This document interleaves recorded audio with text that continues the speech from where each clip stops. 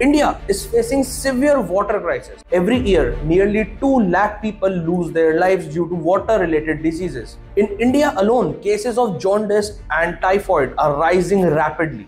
River water plays a crucial role in our daily lives. It's used for drinking, cooking, irrigation, and even in the production of products we consume. When we see a clean glass of water, it might look safe to drink, but we don't know what's inside.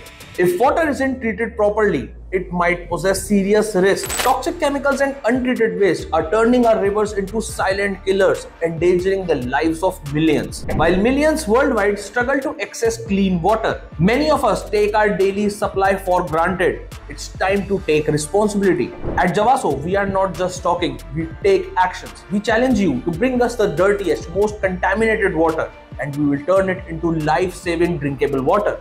That's our guarantee.